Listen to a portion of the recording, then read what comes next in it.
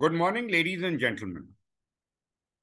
The topic of today's lecture is miliaria, neutrophilic eccrine hyperadenitis, hidradenitis, and disorders of apocrine glands. This lecture is part two of the disorders of sweat glands.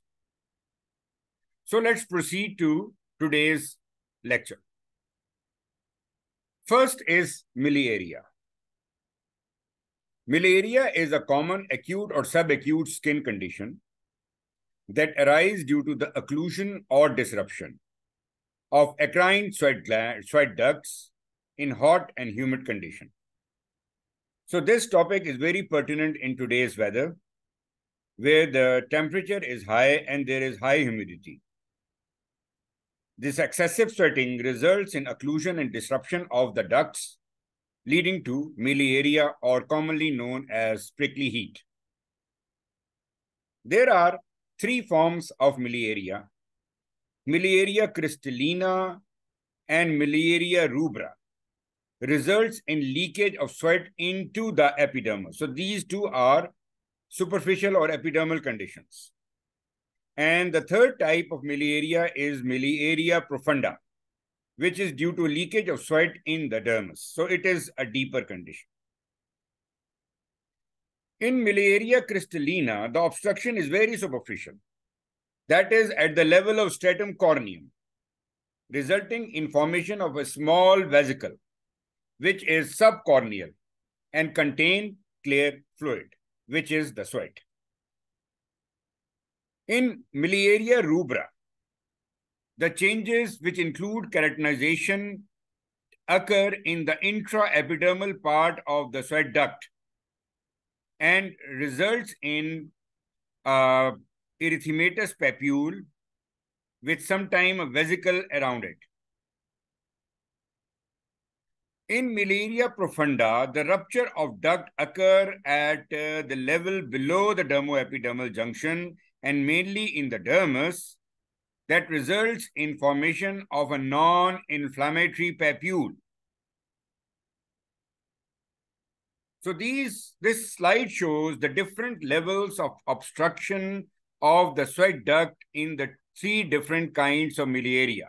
In miliaria crystallina, it is just at the stratum corneum. In miliaria rubra, it is into the epidermis, and in miliaria profunda, it is intradermal. The main contributing causes or risk factors of miliaria include the immature sweat ducts in a newborn. So, miliaria crystallina is common in newborn if they are exposed to excessive heat then hot and humid environment will result or trigger miliaria in almost all individuals. And it is the condition gets aggravated if there is intense exercise or physical activity in such conditions. It may be because of fever, high grade, or occlusion of skin with non-porous dressings like a polythene occlusion or use of synthetic clothing against the skin, like nylon, nylon fibers or nylon clothes. Then it is also seen in hospitalized or bedridden patients lying on the waterproof mattresses or mattress protectors, again, which are non-porous and resulting in increased heat of the body. There are several diseases and treatments that are associated with miliaria and this includes the drug-induced hyperhidrosis, adverse reaction to drugs such as chemotherapy, Stevens-Johnson syndrome or toxic epidermal necrolysis, genetic diseases such as Morvan syndrome or pseudo hypoaldosteronism type 1, and as a result of radiotherapy. Clinical features Miliaria crystallina it is characterized by clear, thin-walled vesicles, 1 to 2 millimeter in diameter, without any inflammatory areola. They are usually symptomless, develop in crops mainly on the trunk. In persistent febrile illness, recurrent crops may occur. The condition is commonly seen in infants where the eccrine ducts are deficient. These vesicles soon rupture and followed by superficial branny desquamation. Then miliaria rubra or the prickly heat. Typical lesions develop at site of friction with clothing and in flexures. Lesions are uniform, minute erythematous papule, which may be present in a very large number. Characteristically, the lesions produce intense discomfort in a form of unbearable pricking sensations, which is the main reason of bringing the patients to skin OPDs. Relief is often instantaneous when stimulus to sweating is stopped by uh, taking the patients out of the hot environment and by cold showers. Then miliaria profunda. It is nearly always follow repeated attacks of miliaria rubra and is uncommon except in tropics. Characterized by pale firm papules, 1 to 3 millimeter across, especially on the body, but sometimes seen on the limbs. There is no itching or discomfort from the lesions. Differential diagnoses of miliaria include herpes simplex, fungal infections, bacterial folliculitis, acne, acute generalized exanthemic pustulosis, toxic erythema of newborn, and Grover's disease. So in all these conditions, there will be some differences and some similarities with miliaria, different kinds of miliaria. Disease course and prognosis. If the environmental factors continue, recurrent episodes lasting from for few days are usual, but the discomfort is continuous. After a few months, some degree of acclimatization develop and disorders become less prevalent. The most important complication of miliaria is the secondary infection. It presents as impetigo or as multiple superimposed staphylococcal abscesses. Now it is referred as miliaria pustulosa or periporitis staphylogenes. Permanent damage to sweat duct may occur, especially resulting in miliaria profunda. Two other side effects of recurrent miliaria is the impaired thermoregulation, resulting in heat strokes and hyperhidrosis in non-affected area. Then periporitis staphylogenes. This represents an infection of the deep cutis in all probability due to poral sweat closure, and subsequent infection by Staph aureus. So the point to diagnose this condition is usually a young child in a hot, humid environment characterized by uh, miliaria uh, rubra with superimposed pustules. These pustules are perifollicular, relatively cold to touch, and are not usually associated with fever. The miliaria management strategy strategies to avoid sweating and keeping the skin cool and reducing the irritation is the main focus of the management. So the patient must be advised to work in air-conditioned offices for at least few hours a day, which is of course not possible for outdoor workers, sleep in ventilated and cool bedrooms, move away from tropical climate, avoiding the humid weathers, avoid excessive clothing and tight clothing. So the advice is to wear only single layer of clothing and avoid the undergarments uh, during hot, humid weather when the sweating is more. Avoid excessive soap and irritants so cool baths without soap. Wear shirts and blouses made of breathable synthetic fibers or cotton. Remove wet clothing. Why we avoid the undergarments is because of sweating, the undergarments become wet and remain wet throughout the day, which is uh, one of the reason of developing miliaria. So these wet clothes should be removed. Cooled water compresses and taking cool baths. Patients should be educated on symptoms of heat exhaustion as uh, extensive miliaria may lead to heat intolerance and heat exhaustion. Medical management include calamine lotion, which is effective as anything for relief of discomfort, but because of its drying effect, a bland emollient or oily cream or in menthol or aqueous cream may subsequently be required to prevent further epidermal damage. Then if the condition is uh, infl uh, quite inflammatory, then mild potent topical steroids may be used. In case of infection, antiseptics and anti-staphylococcal antibiotics are prescribed. Oral ascorbic acid 500 milligram twice a day was found to diminish the severity of miliaria as was the degree of subsequent anhidrosis in experimentally induced disease. Isotretinoin is reported to be effective in miliaria profunda. Then we are going to discuss the second um, disease, and that is the neutrophilic eccrine hidradenitis. It's a rare clinical condition that is characterized by acute inflammation of the eccrine sweat glands uh, seen in skin biopsies. And there are uh, many different types of neutrophilic eccrine hidradenitis, which are classified as following. The chemotherapy-induced eccrine hidradenitis, then infectious neutrophilic eccrine hidradenitis, then only the palmoplantar eccrine hidradenitis, then neutrophilic eccrine hidradenitis associated with HIV and that associated with Behçet's disease. Pathophysiology. The key pathological feature of NEH is the necrosis of eccrine epithelium, suggesting a direct toxicity associated with dense neutrophilic infiltrate.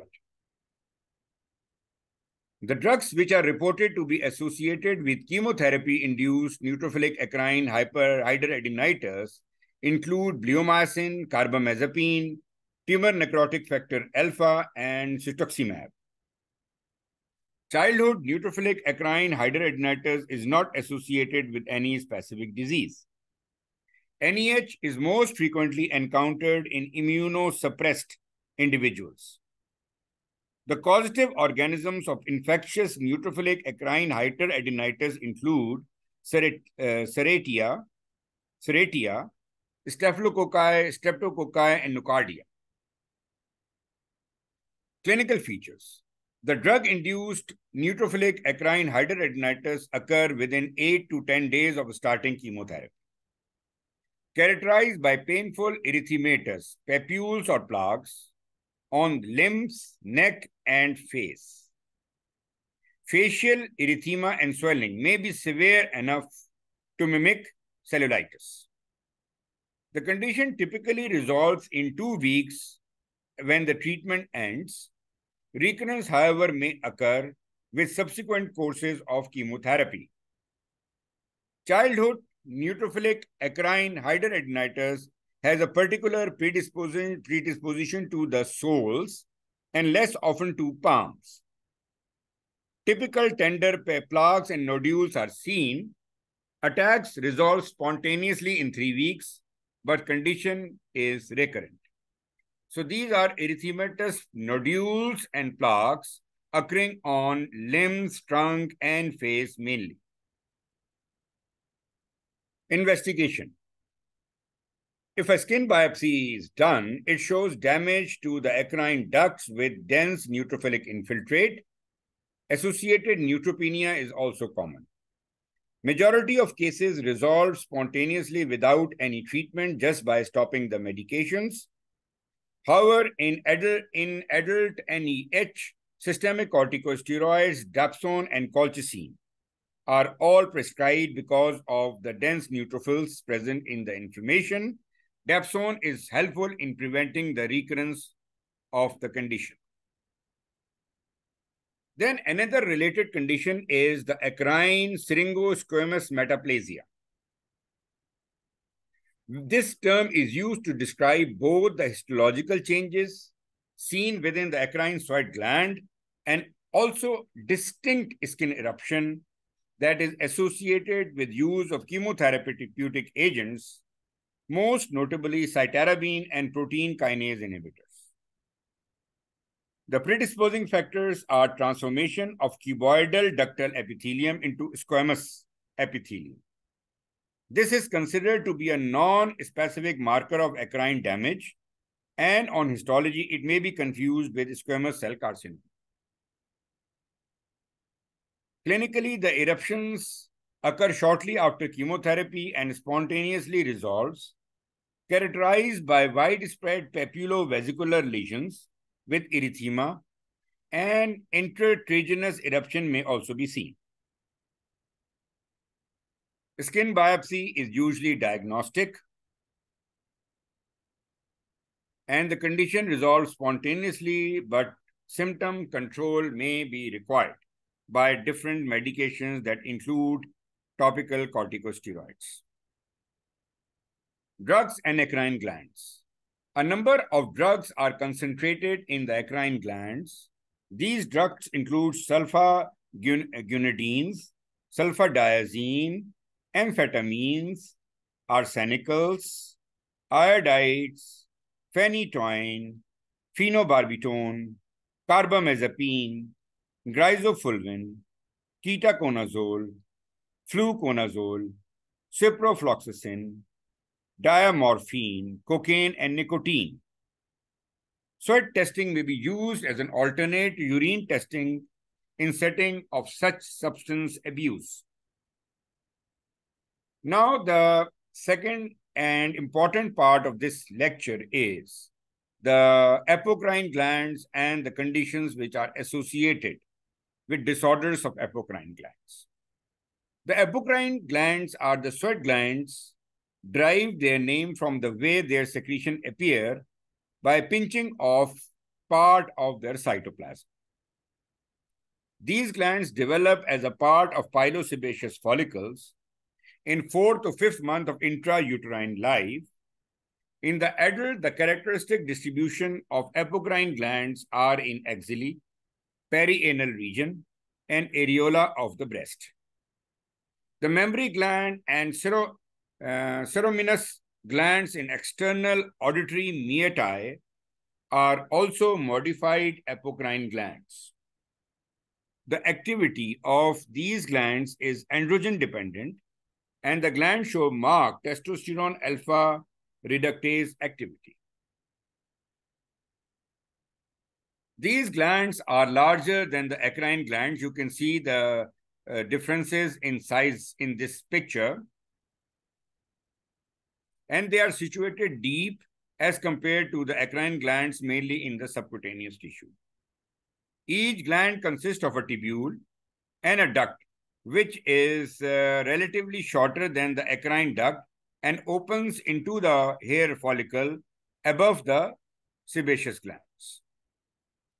The apocrine duct closely resembles an eccrine duct and consists of double layer of cuboidal epithelium as seen in, as seen in the second picture free edge of the cells may show apocrine secretion by and uh, appears as pinching off of the cytoplasm of the cells.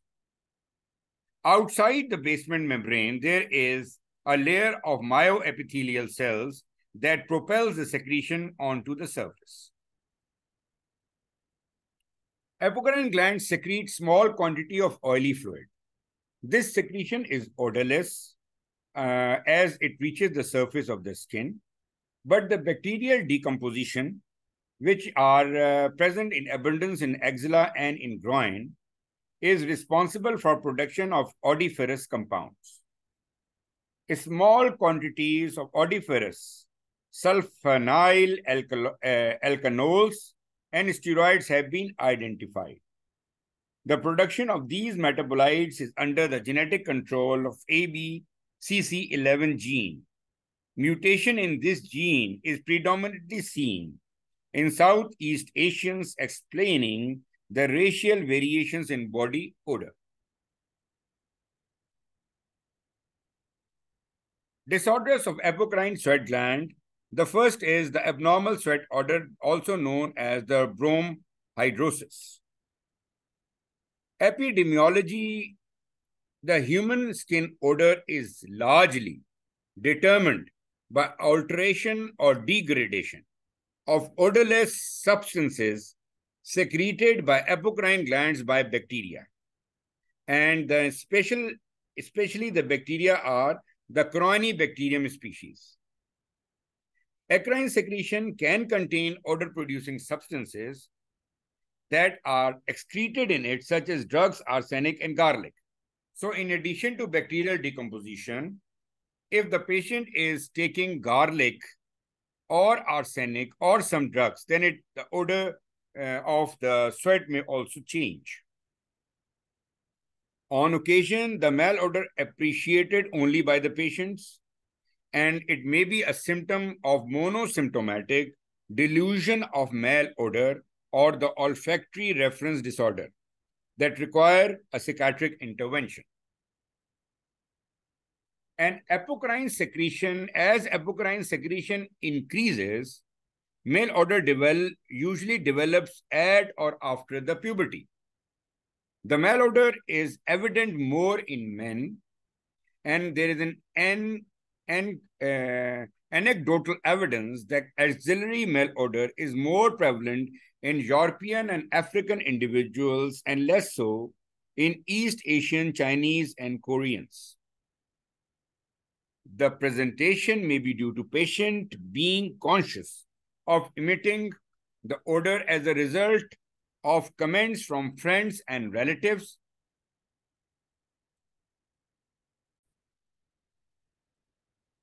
Sniff testing may result in appreciation of character of the odor, such as onion-like, beefy, or fruity.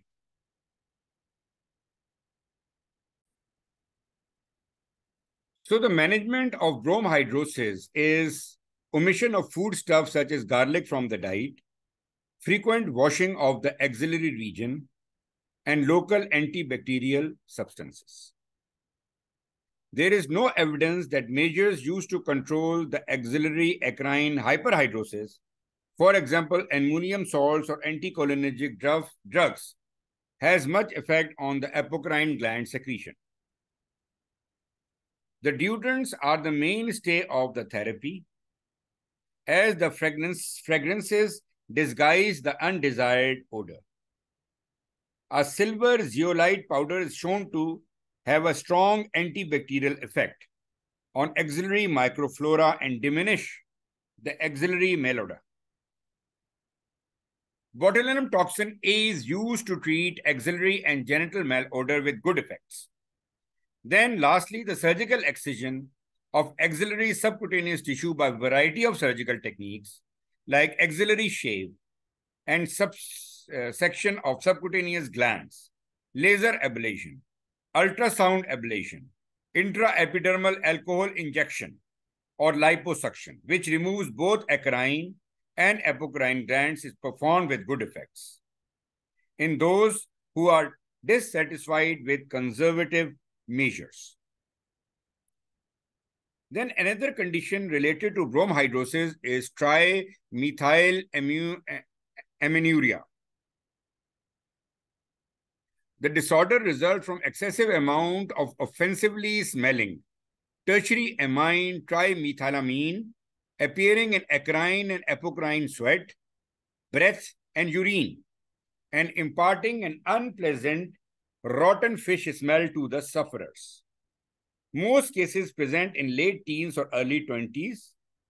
Incidence does not vary by gender. The pathophysiology. These individuals are unable to oxidize trimethylamine, which is produced by intestinal bacterial degradation of choline and carnitine in the food, to odorless trimethylamine N-oxide. This is mainly the main problem, primary problem. Then there is a secondary trimethylaminuria, which occur when there is an increased burden of trimethylamine in conditions such as blind loop syndrome, uremia, and liver disease. So the clinical feature is unpleasant odor, often worse after eating seafood during periods of stresses and during menstruation, which is a source of distress, rejection, and resentment. The condition is diagnosed by direct estimation of trimethylamine in the urine after a marine fish meal. Management first is prescribing a diet low in carnitine and uh, choline. Then egg yolk, legumes, red meat, fish, and beans are to be avoided. Short courses of metronidazole or neomycin may be of temporary benefit, which reduces the bacteria that degrade carnitine and choline in the gut. Charcoal and copper chlorophyll are shown to reduce urinary trimethylamine concentration to normal levels in the sufferers. Chromhidrosis. Chrome hydrosis is the secretion of vividly colored apocrine sweat in up to 10% of the population. It is most commonly blue, yellow, or green in color and is of apocrine in origin, seen in axilla, areola, and nipple or the face. It results from secretion of lipofuscin in apocrine sweat and may be associated with colored breast milk. The affected individual's clothes may also fluoresce on Wood's light illumination. The secretion of colored sweat at puberty and persist until there is a gradual regression of apocrine function in old age. Colored sweat may be discharged from the glands in response to exercise and emotional stimuli and after manipulation of the skin. You can see this yellow or brownish color sweat in this patient. The first line treatment is topical capsaicin. Second line is intralesional botulinum toxin. Then pseudochromohidrosis. This is secretion of clear fluid that changes to color secretion after its exit from the sweat ducts. It occurred due to chromogenic or porphyrin producing bacteria on the skin. In case of facial red chromohidrosis, child responds to erythromycin. Then occupational exposure to copper salt produce blue eccrine sweat. Then alkaptonuria ochronosis produce a black sweat. This is a blue sweat in pseudo chromohidrosis. Then the last condition to be discussed today is the apocrine miliaria or Fox-Fordyce disease. Apocrine miliaria is a disorder of apocrine glands comparable to prickly heat of eccrine glands and is caused by obliteration of apocrine duct at the infundibulum. It presents with itchy papular eruption in axilla, anogenital area, and areola of the nipple, and predominantly seen in female.